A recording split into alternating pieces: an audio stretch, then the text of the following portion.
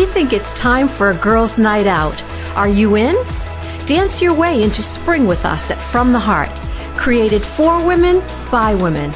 Grab your girlfriends, your neighbors, your coworkers, kick back for a fun night of music, inspiration, shopping for a cause, and chocolate.